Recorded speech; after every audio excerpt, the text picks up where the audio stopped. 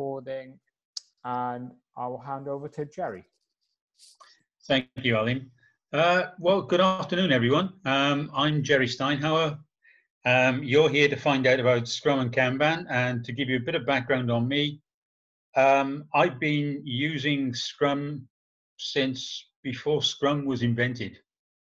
Um, you know, I, I was using agile approaches in the early 80s.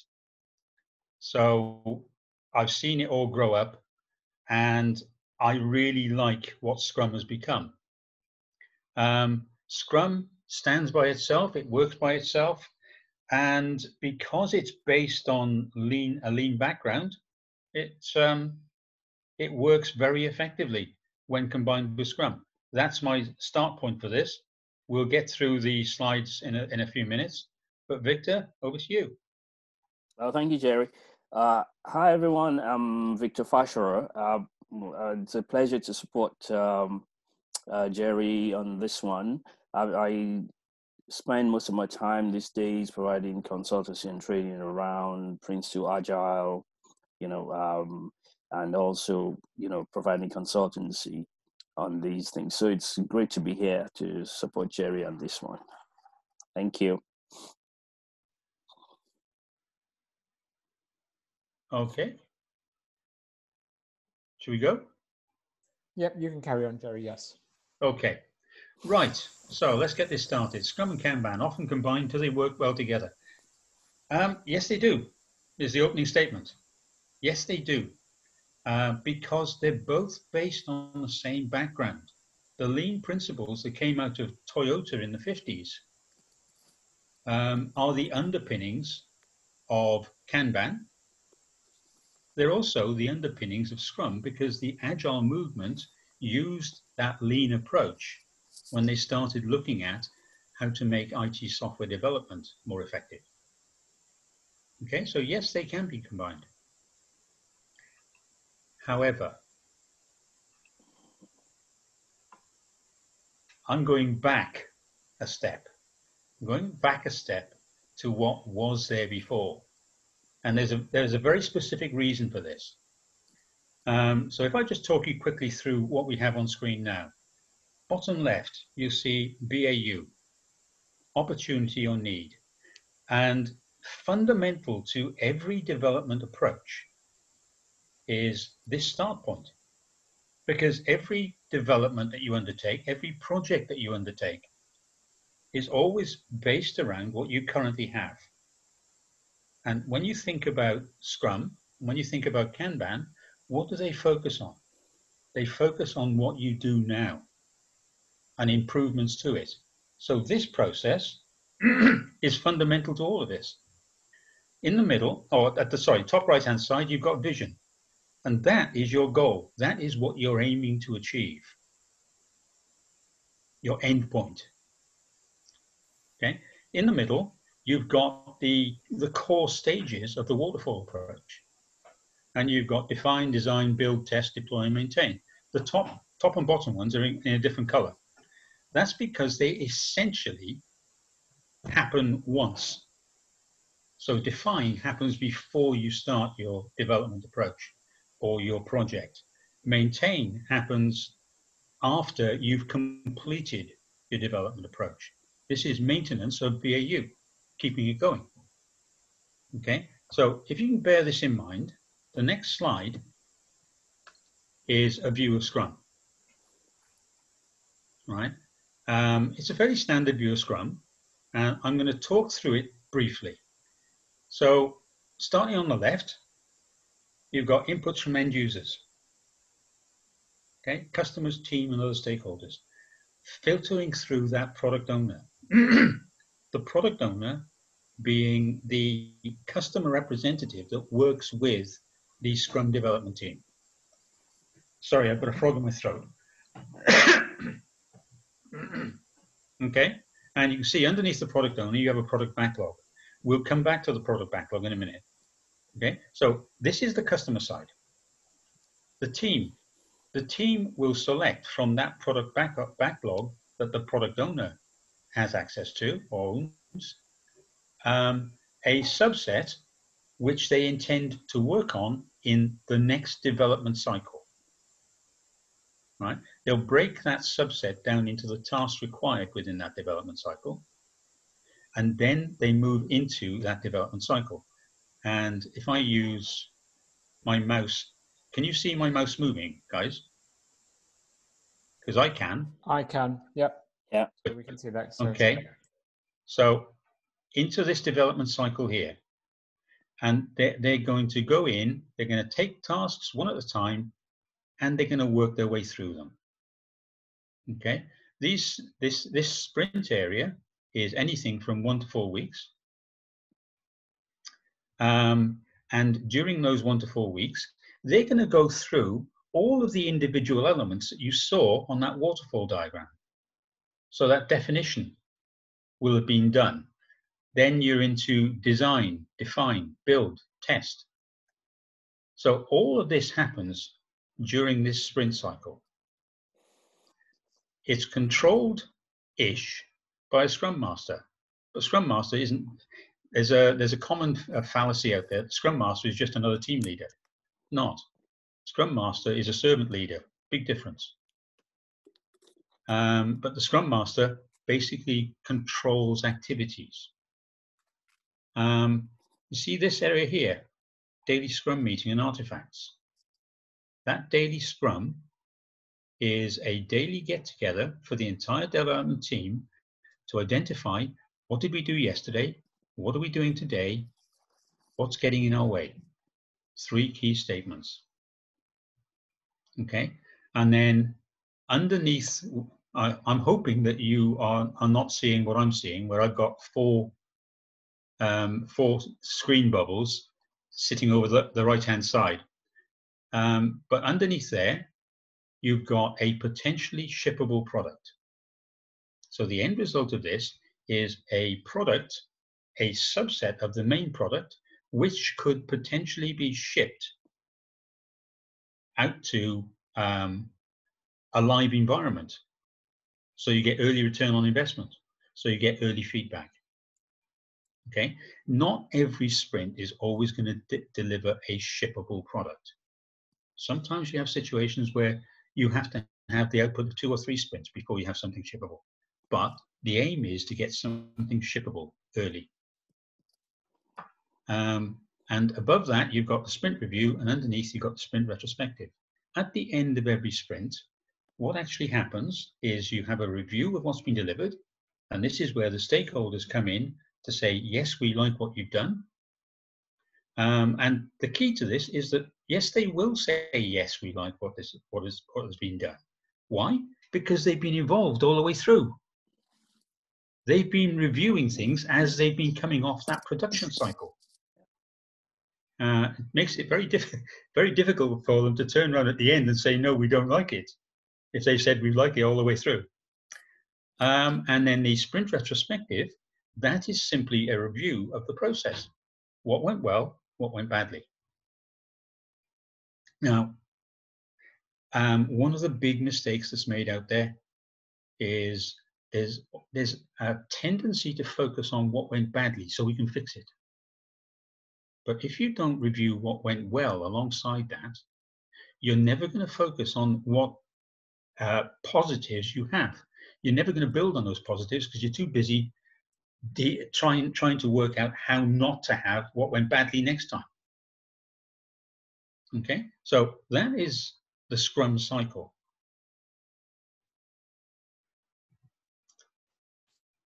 Now, this diagram, you're probably looking at that and thinking, what the bloody hell is it? Okay, take you back to the previous slide, the slide, sorry, the slide, last slide but one, where you had opportunity and need, the BAU side, and the vision, still there. And your task is to get from bottom left to top right as quickly and effectively as you can. Okay, that first block here, define, this is where normally senior management get involved, and this is where you'll get your, your go ahead. This is what we need to achieve. Then the next blocks, group one, two, three, four, four, five, and it could be any number, and it's not going to be called group one, two, three, and so on. but these are your high level objectives. Okay, if we said that your your um, requirement, the vision, was to have a new house built, those groups might say things like lay foundations, build walls, add floors, add the roof, move in. Okay, these are the high level goals that you need to you need to meet. At this point, you don't need anything more than high level goals. And you've got these high level goals. Once you've got these, how do you get, let me step back. How do you get to these high level goals? The straight answer is you involve the people who are going to be doing the work.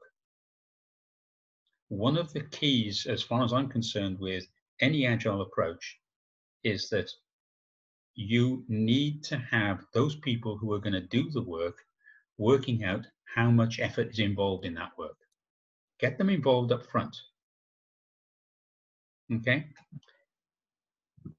Then to expand this, you see product backlog is now coming up here, but there's nothing underneath it yet. And what you're going to do, once you've got this roadmap, you go back to those stakeholders, the customer side, and say to them, right, based on these groups, which you've been involved in in the creation of anyway, what we now need from you is your list of requirements. Your list of requirements is what's going to drive all of this. So you have a look at those those high level groupings and tell us what you what you want to see in there. And you're going to get requirements coming in left, right, and center. Um, and guess what? They're all going to be must-haves. Every requirement, as far as they're concerned, is critical. So you wind up with a list right? If you now uh, point the team at that list and say to say to the team, right, what we need from you is an estimation of how much effort is involved in each of those requirements. Once you've got that, you throw it back to the stakeholders. Okay, guys, you've now got your list, your list plus everybody else's list in this extended list, plus the estimate of effort now we need from you uh, an understanding of what's critical, what's important, what's pink and fluffy, and what doesn't need to be there at all.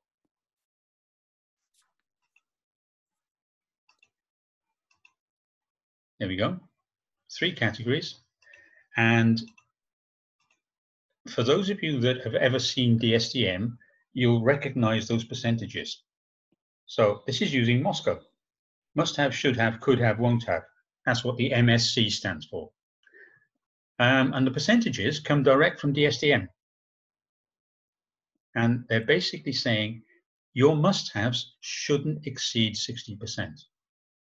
The higher you go, go above 60%, the more this becomes a problem to you. Because one of the principles that Scrum and every, every other Agile approach uses is that change is inevitable. Change is going to happen. So plan for it. And these areas down here, the shoulds and coulds, give you a contingency buffer. Right? Primarily the coulds. And as you start, you work your way through development, you're going to see that, um, let's say, let's pick this one here, the third item down. You've delivered the first two, and all of a sudden the users look at the third and say, oh, hang on a second, in the light of what we've seen already, that third one isn't what we meant. It needs to change. Okay, that's not a problem, we'll change it. But if it requires extra effort, we're going to have to pay for that effort somewhere because key principle of Scrum and the other, other, other agile approaches, time and cost are fixed. So if you're going to add something in, you need to pay for it in some way. That's where the contingency buffer down here comes in. Okay, so you're going to take something out down at this level. Who takes the decision? The product owner on behalf of the customers. Okay, so the customers are always in control of this process. the customers are always going to get the must-haves, their minimum viable product. Because you've given yourself essentially 40% contingency up front. Okay, hopefully that's all made sense. Yeah. Now, in a nutshell, Scrum, an agile process that allows users and developers to focus on delivering the highest business value in the shortest time. Highest business value, We've just talked about it. The minimum viable product, the must-haves. And, sorry? I think someone uh, was just off. Uh, right. Okay. Just carry on, Gerry. Yeah. The must-haves, the minimum viable product. This is what you guarantee in this development. They will have, as a minimum, the must-haves regardless of changes. Now, does that work every time? No, I've known situations where it hasn't. You know, but normally that is because of some outside influence. You know, maybe a new government edict that says uh, all projects in this sphere have to have to now comply with these strictures. It allows practitioners to inspect actual working software every week to one month and decide whether to release as is or continue on another program of enhancement. Right? This sprint cycle that we're talking about, um, one of the most effective ways of getting customer feedback is during the Q&A in there, the testing. Because I, I always try to maintain that um, when you're going into test, you've already got developer testing has happened. Developers already, as far as they're concerned, achieved their targets. It then goes into test. You now get system testing, you know, integration testing and, and stuff like that. But you should also have customer side Q&A. Does it meet our, our objectives? Does it meet our needs? Is it fit for purpose as far as we're concerned? Okay, so every item that comes out of that that um, cycle will already have been effectively signed off if you follow those principles. And that's how you can then decide whether to re release as is or continue. Business sets the priorities. The teams determine themselves the best way to deliver the highest priority features. The team is essentially autonomous it doesn't want to be told how to do things. It just needs to be told this is what we have to achieve. And they self organize achieve it. Right? Um, and again, going back to the lean roots, self organization, self retrospection. Okay? These are the principles being carried through here. Um, agile is not Scrum. Scrum is not agile. There's a there's a, a, a, mistaken view out there that Scrum is agile. Ag, you know, when they talk about agile, you're talking about Scrum. No, agile uh, is a is a set of principles. It's a set of goals to be achieved. It's it. This is what we're aiming to work towards. Scrum is a way of achieving it. Okay, it's a specific implementation of the Agile framework. It follows the Agile Manifesto and interprets its principles into specific processes. Scrum is one of the most popular. I've seen stat, stats recently that say something like all 90% of all agile approaches or agile developments now are using Scrum. It's something of that magnitude now. The Agile Manifesto, a quick reminder, there are 12 principles. Now, I'm not going to cover the principles, we haven't got enough time. But what I can cover is the four highlight items here. Okay, um, and basically, when the manifesto was drawn up, what they stated was that they valued people and interactions over processes and tools. What does that mean? It means that the interactions between the customers, you know, the stakeholders, the team that's developing everything, those who want the output, they are more important than the processes and tools being used. Doesn't mean the processes and tools aren't important, but the interactions start before you start looking at the processes and tools. You get the interactions right, and then you get to you can use the processes and tools effectively. It's rather like when you get in your car in the morning. You turn on the sat nav and you start driving. Where's the sat nav going to take you? Probably back to where you started, because that was the last point it, it, it recognized, because you haven't told it where you want to go. So the interactions are that process by which you can then tell the processes and tools where you want to be taken. Working software over comprehensive documentation. Working software. It's, it's, the, it's the measuring stick for that development. Does, if you replace the word software with product, it works in a lot, in a lot more than just IT arenas. Um, is, is what we're delivering the right thing? Does it do what we want it to do? Then you document that. Um, uh, you know, the, days of having documentation divisions are long gone.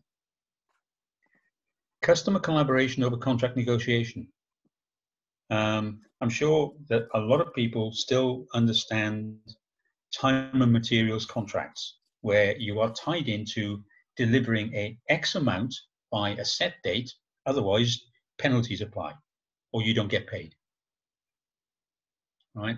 Um, in an agile environment, that doesn't work. Because if you're, if you're embracing change, there's no guarantee that you are going to reach that point in time and have delivered X. You may have delivered X, three quarters of it, plus a bit of A, B, and C responding to change over following a plan. Um, plans are great, but plans are meant to be changed. They have to be flexible. Change is the driver for that, that flexibility. You know, we promise to en enact changes. Okay, so there's value in the items on the right, but we value the items on the left more.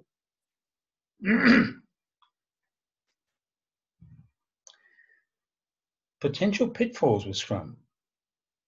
Okay, um, one of the pitfalls is, is not actually a pitfall. It's not a project management framework. It never set out to be one. But for some reason, it seems to have morphed into a pseudo project management framework.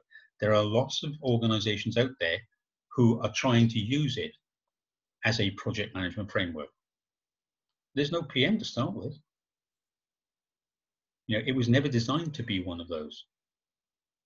But if you needed to work in a project management framework, as with the session we had earlier with Victor and myself about Prince2 Agile, there's a project management framework with an agile front end, a delivery mechanism, often in the form of Scrum. Okay, or you've got DSDM, which is a custom built agile project management approach. And the, the key for this project management side of Scrum is that as uh, organizations mature into, in agile terms, they start off with chaos. You know, it's that group in the corner doing something. We're not sure what they're going to deliver, but we know they'll deliver it on time.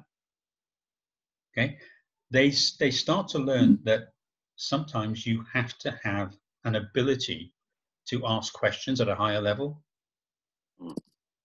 Yeah, so you need a framework above it. You need that escalation path.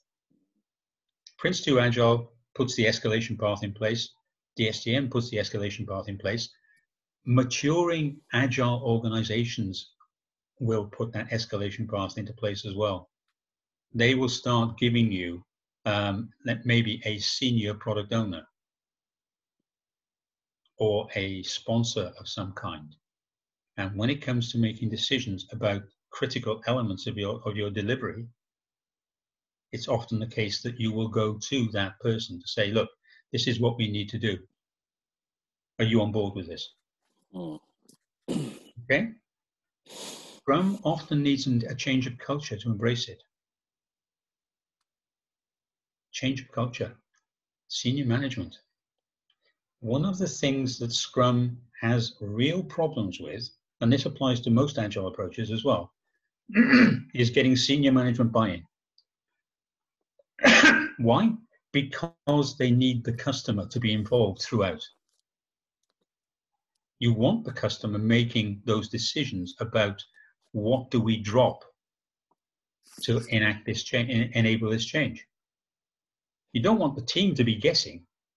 You want to get it from the horse's mouth. So you go back to the customer in some manner. Um, but that is often difficult to achieve because you're into sort of com company politics. Um, and finally, Scrum's an uneasy fit in, in compliance heavy environments. Um, if you've got a, the kind of environment where you have to comply with all sorts of restrictions, I'm, I'm thinking of things like oil and gas. Um, I've got sort of background with oil and gas, and you know, Shell. Although I've never worked for Shell, I've been told by a number of people who've come out of Shell that to get a project off the ground in Shell, you've got something like 1,500 potential stage gates to go through. And some of those you have to go through before you can even apply to go to the next lot and say, is this project viable? Yeah? Scrum doesn't work well in that.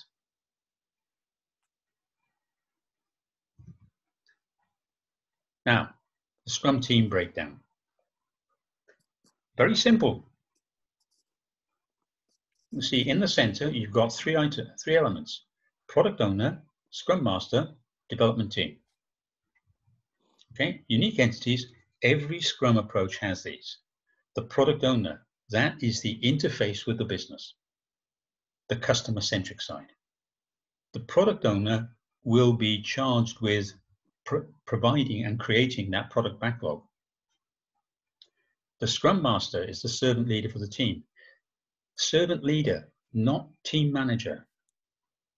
Okay, facilitate on behalf of the team. Make sure that the environment is conducive to um, Scrum being used. Protecting the Scrum process. But also you can see that from Scrum Master and Product Owner, you have links to the organization. The product owner being on the customer side, so making sure that the right product is being delivered. Uh, the Scrum Master is on the team side, making sure that the organization understands what the team needs in order to be effective. So that they understand how Agile works, or how Scrum works in this case. And then finally, you have the development team, self-organizing. Yeah. Um, the development team are probably quite intelligent. You don't tend to get too many unintelligent people in a development team, but we often overlook it. We often treat them as just that's the team that do the work. And that's why earlier on I was emphasizing get the team involved in the early processes so that they understand what we're aiming to achieve they understand the priorities of what we're aiming to achieve. And they've identified how much effort is involved in that product backlog. Because when they come up with, a, with an estimate of effort for each of those items, guess what? Mentally, they've, commi- they've committed to that estimate. When it comes to delivering it, they'll do everything in their power to, to achieve their own targets. Whereas in the traditional sphere, what often happens is they get given a piece of paper. There's your there's your next goal. Get on with that, and you've got until Friday. And the first thing they do is they sit down and work out why they can't do it because they haven't been involved.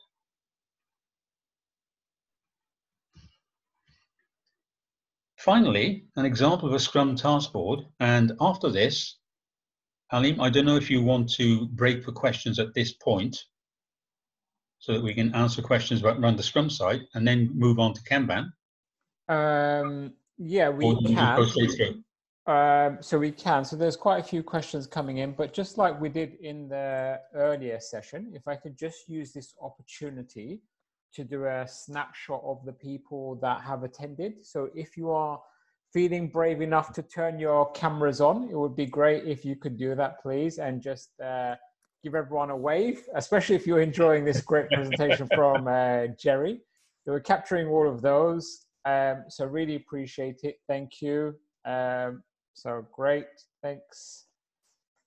So yep, you you've uh, helped us. So now we'll go on to some of the questions. Uh, okay, let me just finish with this slide then, Alim. Yes. Okay, so here's here's an example of a Scrum task board. Okay, this is the the, the, the mantra. This is this is what the team would be displaying, so they they're totally in, in, in control of what's going on. And just looking at that from left to right, you've got the product backlog, from which you've, you've extracted a subset, which is the sprint backlog. Some of that sprint backlog has been divided down into tasks. Some of it is in progress, some of it's in peer review, some of it's in test, some of it's done, and there, there's also an item in there in, block, there in blocked. That is something for the, the Scrum Master to be dealing with to make sure that it gets fixed, whatever the, whatever the blockage is. Okay.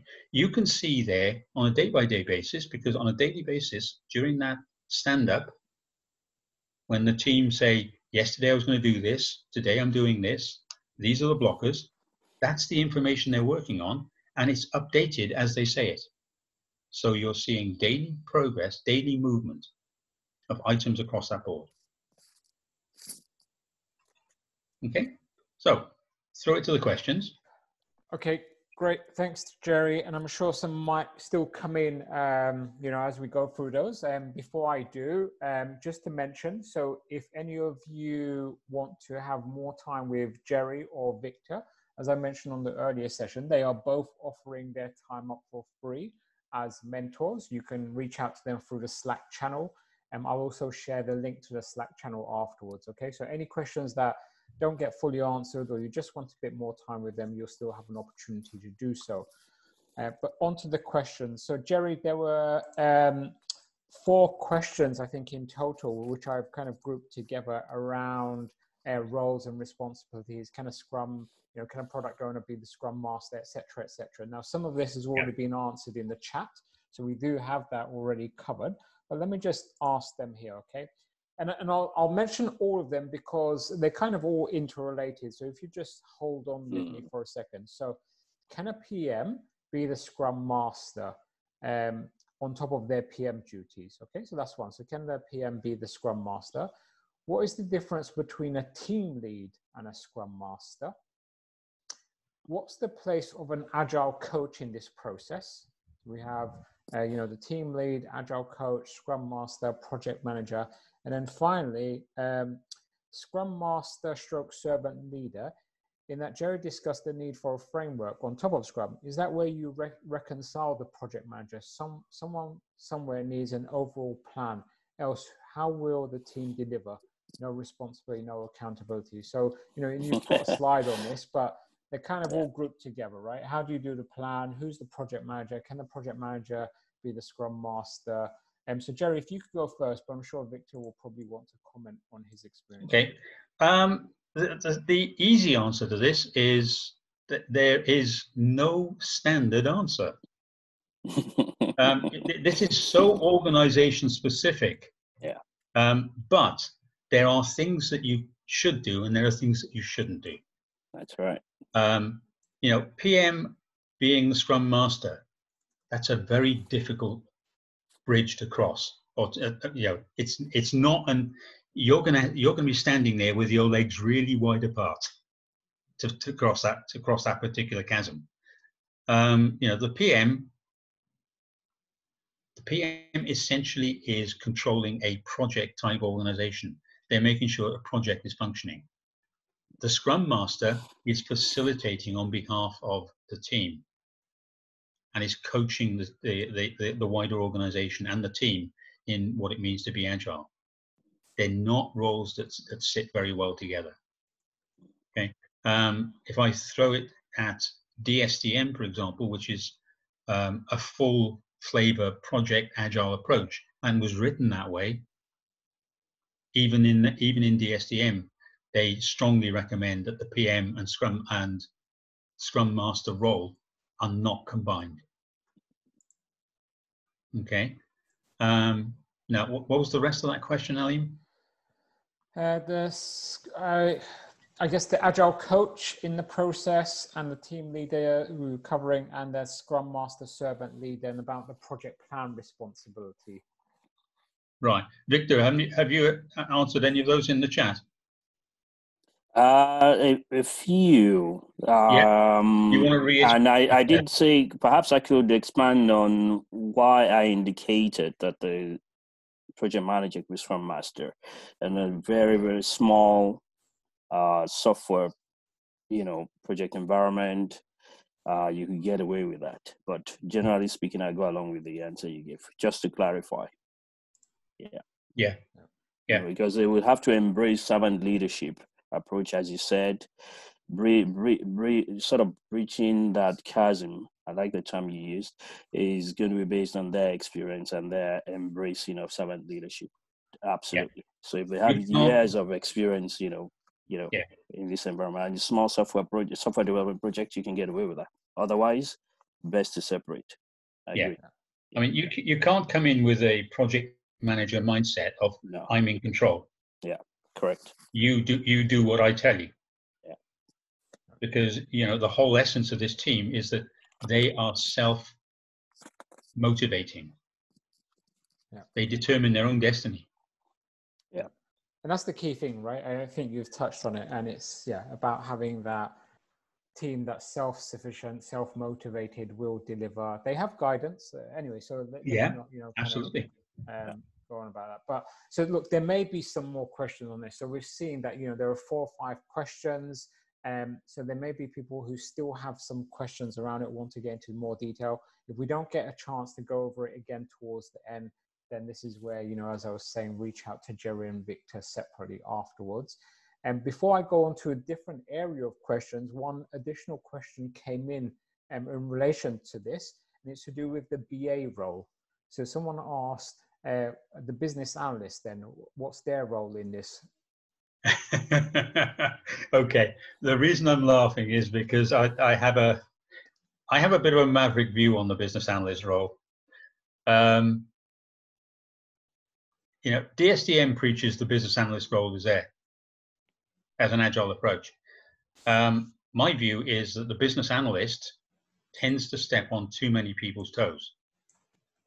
Um, a business analyst in an agile environment, the best thing that a business analyst can be doing in an agile environment is not uh, extracting information from the users and then writing their, their own version of what needs to be done it's teaching the users how to write effective user stories. Mm. So the users are actually writing their own. Therefore, there's no translation being being undertaken. And the same applies when the business analyst interacts with the development team. And on they- that they- note, Gerry, if I could interject, because another question's coming. In so where you mentioned development team, and as I said, you know, I know this is key for a lot of people. Uh, testers. So how Yeah. does the Scrum teams interact with the development team, testers, etc.? Could you just address that as well, please? Yeah, okay. Um, testers are integral to the development process.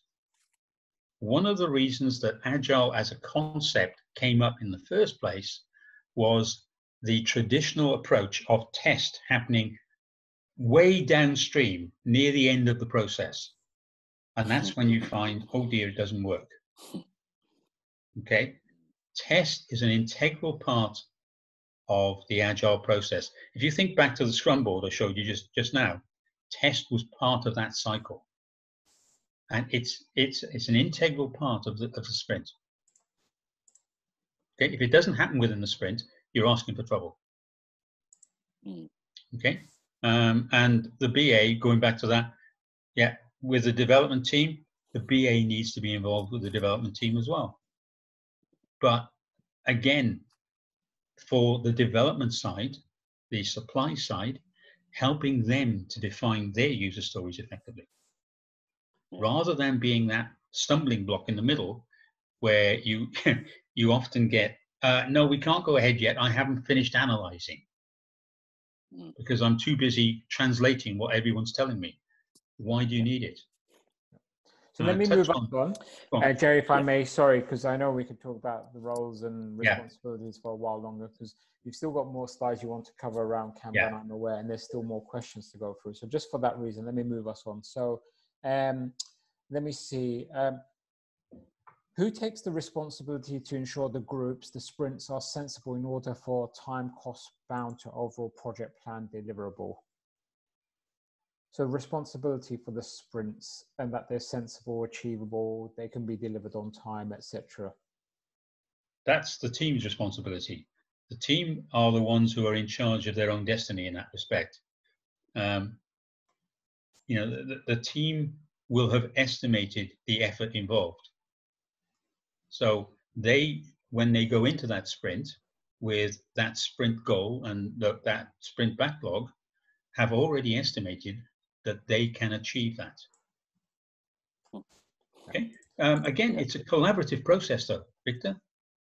Yes, it is. It is. The only thing I wonder is if uh, the questionnaire was referring to a project environment, in which case, as you said, the team would decide on sprints and project manager then has to work out how that fits into the overall project plan.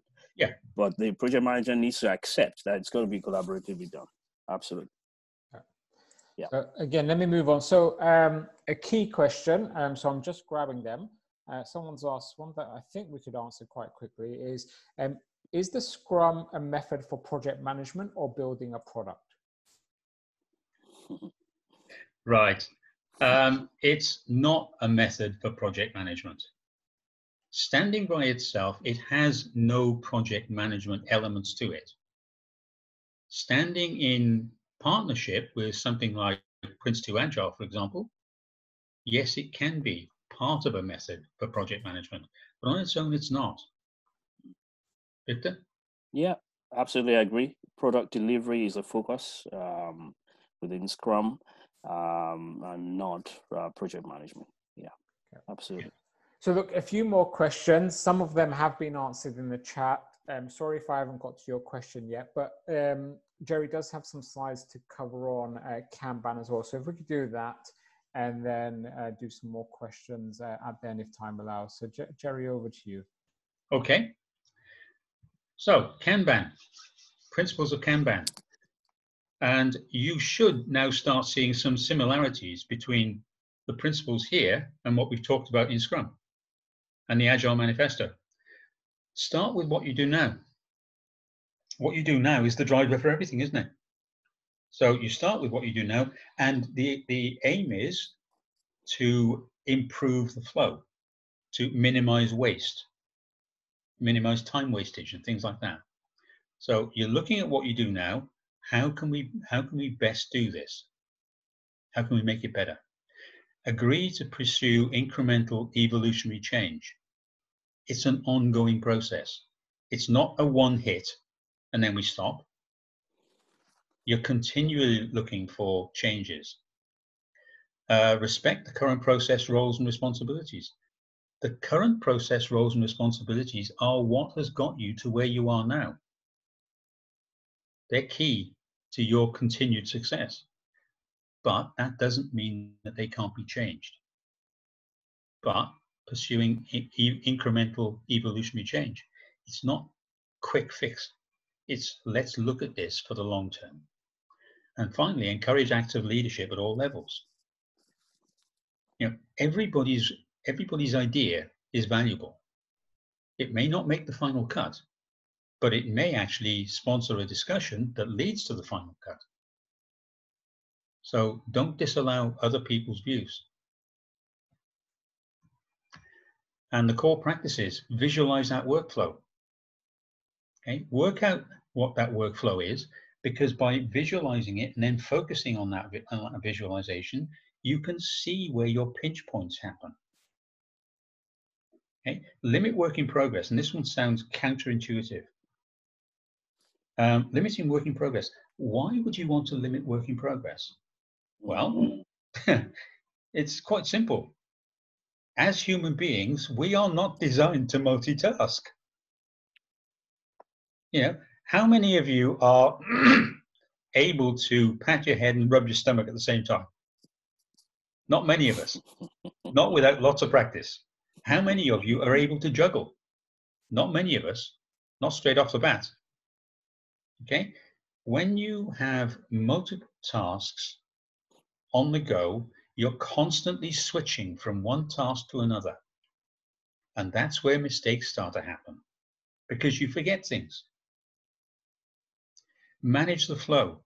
Okay, looking at that flow and making sure that flow is a managed process, but that that management is encouraging that change thinking as well. Make process policies explicit. If you don't have process policies, then anything goes.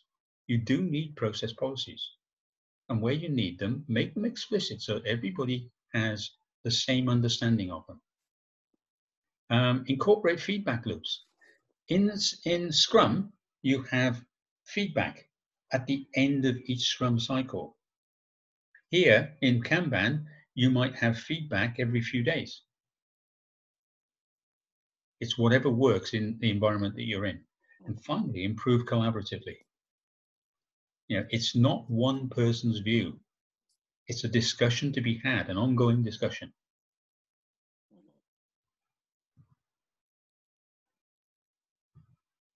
Right. The Kanban board. Okay, this is just an, another example. But if you look at that board, it's incredibly similar to the Scrum board. Why? Because Scrum used Kanban anyway. Scrum picked up the idea from Kanban. So they developed their own boards. And if you go online, if you Google Scrum boards or Kanban boards, you'll find thousands of them. But they're all based on the same thing. They've all got the same basic elements. You have, on the left-hand side, you have the totality of the work that has to be done. And then from there, in reducing sizes, what's currently happening. So you've got what's being prioritized, what's currently in development, what's uh, development split into ongoing and done. So you've got the work that's ongoing in development, work that's already completed. That Y in the middle, that is an item that's completed. It is ready to go into testing, right? But it's sitting in sitting in done under development because there's currently no capacity in testing for it. And this limiting work in progress says you cannot pull something in until you have capacity. So they're still working. Once one of them becomes free, why will we pull the cross? Okay, and you can see it moves across until you got at the end done live. Uh, option A is is now live or, or, or potentially ready to go live. Okay, summary of the two, or Kanban can be very useful in a Scrum environment. The flow-based approach aids in the sprint review. In, in a Scrum environment, Kanban, as you've seen, the boards are similar. The mindset is largely largely the same because it's all about process improvement. They might have differences of opinion as to how often that happens, but in general, they're, they're aiming at the same end, end result. Work in progress limits reduce the impact of task switching, as we saw earlier. You know, if you're constantly switching tasks, and this is one of the reasons why um, there's there's always been this push for having a development team working on one development at a time, not multiple developments, and not part-time. Right? You don't want this constant task switching. And Kanban em emphasizes the empirical nature of Scrum. Start with what you know and continually look for improvement. That empirical nature, you start with what you know. okay? Right. Do they work together? Yes, they do. So we're over to the remainder of the questions then, Ali. Yeah, so that was great. So lots of feedback has come in already from various people. Uh, Gerry, Victor, Ian, I know has contributed as well, saying how informative they found the session. So thanks for that. There are a few new questions coming in, and I'll pick them up from the chat. But actually, with with about eight minutes or so to go, what I'd also like to do is just open it up to anyone that wants to verbalize their question or ask a follow up question on something that's already been asked. So if you do, can you please unmute yourself and ask a question and we can have a discussion around that. And if not, then I'll ask some more questions from the chat. Yes, I have a question. Hi, Gary. Hi. Uh, I also wrote it down uh, in the chat, so probably you can skip it. I, I would like if you can go back to the slide where the Kanban board is. Mm-hmm. And Yeah. re- really quick, uh, I mean, uh, there's a scenario where the user story E, which is uh, in QA testing, it is blocked and uh, we- cannot move forward. Uh, does Kanban principle support pulling user story Y into the ongoing lane, or does it advise that all effort should be put in making sure there are no blocking issues in E and proceed only with- Okay. on E? The answer to your question again lies in the severity and what the block is. If the block is something that can be quickly fixed, then yes, devote resources to fixing it. If it's something that requires um, assistance from outside, for example, then park it and pull Y across. Okay, so it does support. Yeah, it's it, it's flexible. The, thing about can, both Kanban and Scrum is that they, they are not prescriptive. It does not say that A follow uh, A precedes B and B has to follow A. If if there are reasons for changing that sequence, then change the sequence. Okay. Okay, be All right. pragmatic about it. Victor, have you got any, anything to add to that? No, not really. No, it's got uh, pragmatism is the name of the game. Yeah, yeah. Yeah, you got to do what works in a given situation, and uh, as long as the flow is um, managed effectively, that's the bottom line. All right. Thank you. Okay. Um, and I do want to see if there's any other questions that people want to ask verbally, but I think it's time to challenge uh, to try and answer Robin's question. It's a monster of a question. In your chat area. So let's. so that's yours. Alim, right? Th- this might take up the rest of the session. So um, let, let's go. So I'll read it out, but you know you'll see it on the screen. So I took over an existing running project about a year ago. Had been running for a year and a half before that, and a key theme identified was that the team had not spent the time designing the output and upskilling the team before starting. This manifested into a situation where more tasks were being created than being completed as gotchas and unexpected issues arose. I'm fearful of the team entering the same situation. Any hints on how to avoid similar situations? For context, the project was migrating a company's web application to uh, Azure. Okay, so about upskilling the gotchas um, and a situation that he, he or other people might find themselves in. How, how do you avoid that? That one is so so difficult to answer. Mm. because it's it, it it is so specific to the politics within the organization and stuff like that.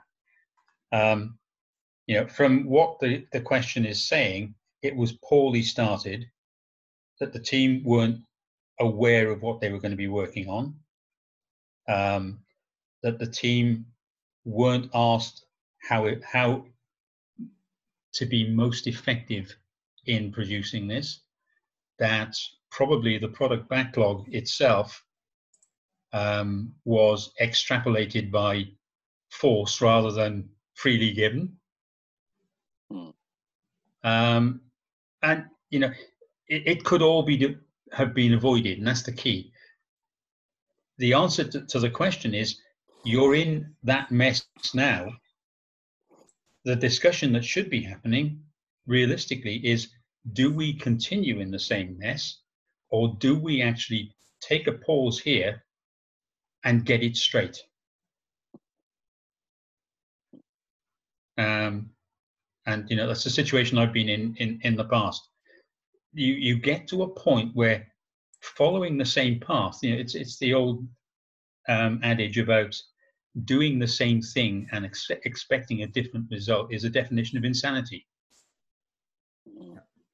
And can I just add, um, if I could just um, ask Victor to cover this actually, and Victor, I, I know you were about to, because some of this, I guess, uh, came up in your session earlier as well, Victor, around fixing, flexing, the minimum viable product, you know, what you do, what you don't do, scope. Um, so if you could just add to that as well, and we'll see if we can get one more question in. Yeah, yeah, it's um, it, it's a tough one because in in terms of what, how could it have been avoided? I think Gerry's right. We needed to. There was is a need to have properly identified the customer, the business, and engage them. Find out if they even would line up with the way we expect users to participate in an agile environment, starting with the, with the way they elicit the requirements, what exactly are we working on, so that the product backlog isn't constituted with things that the customer doesn't want or doesn't need. Now, eh, and if that's done properly, then the scaling up of the resources needed is the next step.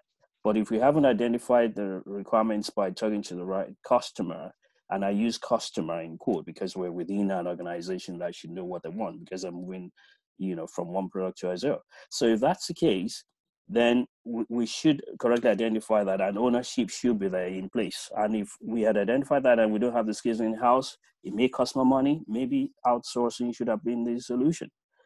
So I think it's the initial bit of correctly identifying the customer, who within the business should be telling us what they want at the end of this. But a lot of the time, assumptions are made because it's seen as an obvious thing, right? The benefits are obvious, right? We need to move and migrate from the current system to a better one. What could go wrong? And we're seeing a lot could go wrong. So that's how we could have avoided. In terms of moving from from the current point, it's pretty difficult. It, it a lot depends on how much money you have available to actually, you know, take a different turn in terms of resourcing the project. But look, one, one. one. definitely to just yeah reach out to Gerry, Victor, and, and others in uh, for more detail. Right, we, we can't do yeah. just this on this call. So look, I have another five questions in my armory uh, that need answering, but only about two minutes. So what I want to do is, if you are one of those people that have asked the question and it hasn't been answered, um, if you would like to unmute yourself and ask your question, then essentially you get priority. Sorry about Hi, that. Gerry. Hi. Yes, so um, I asked the question. Um, there's been a gray area. Eliminate dependencies or manage them. Sorry, say that again. Eliminate dependencies or manage dependencies. You can't eliminate dependencies. Dependencies are dependencies. If Absolutely. A is dependent on B, it's always yeah. going to be dependent on B, unless you change B to something it can't depend, on, depend upon, in which case A is no longer valid. You can't eliminate dependencies, you have to manage them. I think that's a utopic, Gerry, to remind. Uh, it's just yeah. interesting. That's a utopic envir- um, uh, environment. If I if I can eliminate dependencies and make life easier, that'll be that's just heaven, right? Yeah. well, unfortunately, the dependencies are there because of the very nature of what we're building. Yeah. Yeah. Let me see if I can put one more in there. Okay, one more question. Um, so, can a project initially have a three-week sprint cycle and later move to a two-week uh, cycle as the length and features to be delivered comes down subsequently? And I guess, yeah, can it basically yeah. change? Why not? That's the answer. Why not? Yeah. Be pragmatic. Do what it takes. Yeah. Don't be prescriptive about this. You know, yeah. a sprint cycle is a sprint cycle. Yeah. It's what you do within the sprint cycle that's the key, not the length of the cycle. Thanks very much. And if if it only takes you two weeks to to deliver that particular item, that particular set of items, then do it in two weeks. If it's going to take you three weeks, then do it in three weeks. Okay. So thank you. Sorry if we didn't get a chance to ask your answer your question, but it's always good to leave the audience wanting more. So on that note, uh, Gerry, Victor, Ian, others who contributed, you did an amazing job. I'm sure it was well appreciated by everyone. So thank you for that. Um, and so for the rest of you, thank you for joining. Uh, you will receive an email from me. Join the Slack channel, join the YouTube channel, LinkedIn mentoring channel. And as you know, we have many more sessions taking place uh, tomorrow, rest of this week, and next week. So I hope to see you on some of those. Thank you all.